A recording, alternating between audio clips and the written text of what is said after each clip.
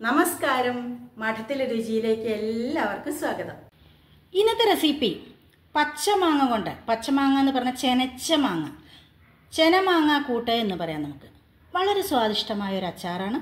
അപ്പോൾ ഞാൻ മാങ്ങ ഇത്ര എണ്ണം കഴുകി വെച്ചിട്ടുണ്ട്? ഒരു ഒന്നേകാൽ കിലോ മാങ്ങ ഉണ്ടാവും കേട്ടോ വെള്ള മൂവാണ്ടന്റെ മാങ്ങയാണ്. ഏത് മാങ്ങ വേണമെങ്കിൽ എടുക്കാം. പക്ഷേ പ്രത്യേകത എന്താണെന്നറിയോ? നല്ലോണം ചെനച്ച മാങ്ങ തന്നെ എടുക്കണം കണ്ടോ? ഇങ്ങനെ ചെനച്ച മാങ്ങ വേണം എടുക്കാൻ. അതാണ് അതിന്റെ ടേസ്റ്റ് ഇതിൽ വിനാഗിരി ഒന്നും ഒഴിക്കേണ്ട ആവശ്യമില്ല കേട്ടോ. അപ്പോൾ നമുക്ക് ഇതെല്ലാം ആദ്യം ഇങ്ങനെ മുറിച്ചെടുക്കാം. ഇപ്പോൾ കണ്ടോ നമ്മുടെ മാങ്ങയൊക്കെ ഞാൻ അങ്ങനെ നുറുക്കിയെടുത്തിട്ടുണ്ട്. കണ്ടോ? ഇങ്ങനെ കുറച്ച് വലിയ കഷ്ണങ്ങളാക്കിയിട്ട് തന്നെ നുറുക്കിക്കോളൂ കേട്ടോ. ഇനി ഇതിലേക്ക് നല്ലോണം ഒരു മുക്കാൽ ടേബിൾ സ്പൂണിനായിക്കോട്ടെ മഞ്ഞൾപ്പൊടി. ഇത് വീട്ടിൽ പൊടിച്ച മഞ്ഞൾപ്പൊടിയാണ്. അതുകൊണ്ട് നല്ല കളർ ഉണ്ടാവും. മാത്രമല്ല നമ്മൾ കുറേ കാലം കേടാകാതിരിക്കണ വെച്ചാൽ മഞ്ഞൾപ്പൊടി മസ്റ്റാണ് കേട്ടോ. അതേപോലെ തന്നെ ഒരു മുക്കാൽ ടീസ്പൂൺ കായത്തിന്റെ പൊടി ആവശ്യത്തിന് ഉപ്പ്.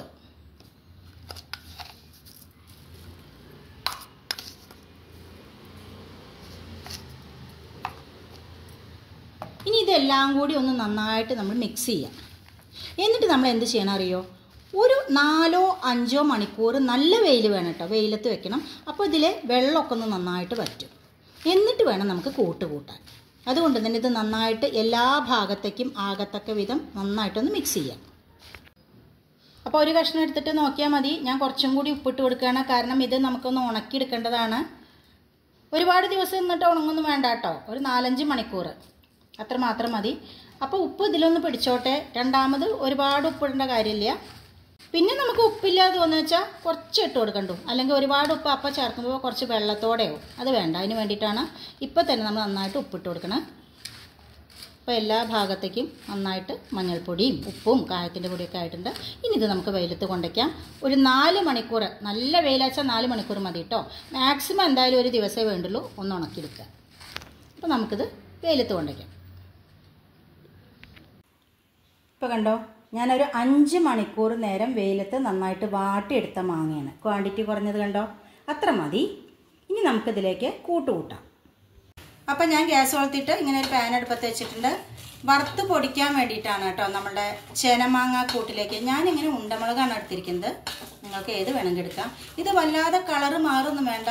ഒന്ന് പൊടിക്കാൻ പറ്റുന്ന വിധത്തിൽ മാത്രം നന്നായിട്ടൊന്ന് ചൂടായാൽ മതി കേട്ടോ. കറുപ്പ് കളറാവൊന്നും വേണ്ട. അപ്പം മുളകിന്റെ നല്ലൊരു മണമൊക്കെ വരൽ തുടങ്ങി. ഗ്യാസ് ഓഫ് ചെയ്യാം. എന്നിട്ട് ഇതൊരു പാത്രത്തിലേക്ക് മാറ്റാം. അതേ പാനിലേക്ക് തന്നെ രണ്ട് ടീസ്പൂൺ നല്ലോണം കടുക് ഒരു അര ടീസ്പൂൺ മാത്രം നല്ല ജീരകം അതേപോലെ തന്നെ ഒരു കാൽ ടീസ്പൂൺ കുരുമുളക്. കൂടി ഒന്ന് വറുത്ത് കൊടുക്കുക കണ്ടോ നന്നായിട്ട് ചൂടായിരിക്കണ കാരണം കടുക് കണ്ടോ പെട്ടെന്ന് പൊട്ടിയിട്ടുണ്ട്. ഒരു പ്രത്യേക ടേസ്റ്റിലുള്ള ചെനമാങ്ങാക്കൂട്ട് ഇനി പുളി നല്ലോണം വേണമെന്നുള്ള ആൾക്കാർ ഒരു ടേബിൾ സ്പൂൺ വിനീഗർ ചേർത്തോളൂ. ഞാൻ ചേർക്കുന്നില്ല.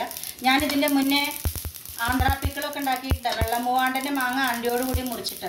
അതിലൊന്നും തന്നെ ഞാൻ വിനീഗർ ചേർത്തിട്ടില്ല. ഇതൊരു രണ്ട് ദിവസം ഇരിക്കുമ്പോഴത്തേക്കും അത്യാവശ്യം പുളി വന്നോളൂ കേട്ടോ എന്നിട്ട് ഉപയോഗിക്കാൻ എടുത്താൽ മതി. അപ്പോൾ അതിൽ പുളിക്ക് വേണ്ടിയിട്ട് ഒന്നും ചേർക്കേണ്ട കാര്യമില്ല. ഗ്യാസ് ഓഫ് ചെയ്ത് കൊടുക്കാം. ഇനി ചൂടാറിയതിന് ശേഷം മുളകും ഈ കൂട്ടും നമുക്ക് പൊടിച്ചിട്ട് നമ്മുടെ മാങ്ങയിലേക്ക് ഇടാം കേട്ടോ ഇപ്പോൾ കണ്ടോ? ഞാൻ മുളക് പൊടിച്ച് കൊണ്ടുവന്നിട്ടുണ്ട്. ഇതേമാതിരി ചതയമുളകിനെക്കാട്ടിലും കുറച്ചും കൂടി അധികം പൊടിഞ്ഞോട്ടെ. അല്ലാതെ മിനി മിനിയാനും പൊടിയുണ്ട്. മുളക് പൊടി മാതിരി ആവണ്ട കേട്ടോ. ഇത് ഇതിലേക്ക് ഇട്ട് കൊടുക്കാം. ഇനി നമുക്ക് ബാക്കിയുള്ളതും കൂടി പൊടിച്ച് കൊണ്ടുവരാം. ഇപ്പം ഞാൻ മിക്സിയുടെ അതേ ജാറിൽ തന്നെ ഇട്ടിട്ട് നല്ല ജീരകം കടുക് കുരുമുളക് പൊടിച്ച് കൊണ്ടുവന്നിട്ടുണ്ട്. അതുകൂടി നമുക്കിതിലേക്ക് ഇട്ട് കൊടുക്കാം. ഇനി നന്നായിട്ടൊന്ന് മിക്സ് ചെയ്ത് കൊടുക്കുക. ഈ സമയത്ത് നമ്മൾ മാങ്ങയുടെ ഒരു കഷ്ണം എടുത്തിട്ട് ഉപ്പ് മതിയോ നോക്കണം. നമ്മൾ ഉണക്കാൻ വെക്കുമ്പോൾ തന്നെ അത്യാവശ്യം നല്ലോണം ഉപ്പിട്ട് കൊടുത്തിട്ടുണ്ടായിരുന്നു. അതുകൊണ്ട് തന്നെ പോരെങ്കിൽ മാത്രം വിട്ട് കൊടുത്താൽ മതി കേട്ടോ ഞാൻ നോക്കട്ടെ.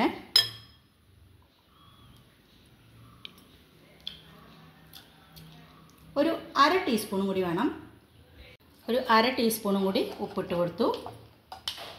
എന്നിട്ട് ഈ പൊടികളൊക്കെ നല്ലോണം എല്ലാ ഭാഗത്തേക്കും ആകത്തക്ക വിധത്തിൽ തന്നെ ഇളക്കണം കേട്ടോ ഇത് നമുക്ക് പുറത്ത് വെച്ചിട്ട് രണ്ട് ദിവസം കഴിഞ്ഞിട്ട് ഉപയോഗിക്കുകയാണ് നല്ലത് കേട്ടോ അപ്പോഴേക്കാണ് ശരിക്കും ഒരു പുളിയൊക്കെ പിടിക്കുള്ളൂ. അതാണ് ഞാൻ പറയുന്നത് വിനീഗർ ഒഴിക്കേണ്ടതാണ്. പുറത്ത് വെച്ചാൽ കേടുവരില്ല ഇനി നമ്മുടെ പണി. നല്ലോണം ഒരു അര കപ്പ് നല്ലെണ്ണ ചൂടാക്കി വെച്ചിട്ടുണ്ട്. അത് നമുക്ക് ആറിയതിന് ശേഷം മാത്രം ഇതിലേക്ക് ഒഴിച്ചു കൊടുക്കാം. കഴിഞ്ഞു. ഇത്ര പണിയുള്ളൂ നമ്മുടെ ചെന മാങ്ങാക്കൂട്ട് ചെനച്ച മാങ്ങന്നെ എടുക്കുകയാണ് ഏറ്റവും നല്ലത് കേട്ടോ. ഉണ്ടോ? ഹായ്. അപ്പോൾ പെപ്പർ ഫ്ലേവേഡ് ചെനമാങ്ങാക്കൂട്ട് എന്ന് പറയാം. ഒരു പ്രത്യേക ടേസ്റ്റാണ്. നിങ്ങൾ ഇതുവരെ കണ്ടിട്ടുണ്ടാവില്ല അങ്ങനത്തെ ഒരു റെസിപ്പി. എല്ലാവരും ഉണ്ടാക്കി നോക്കണം. മാങ്ങയൊക്കെ കിട്ടുന്ന കാലല്ലേ ഇപ്പോൾ എന്നിട്ട് തീർച്ചയായിട്ടും ഫീഡ്ബാക്ക്സ് അറിയിക്കണം കേട്ടോ.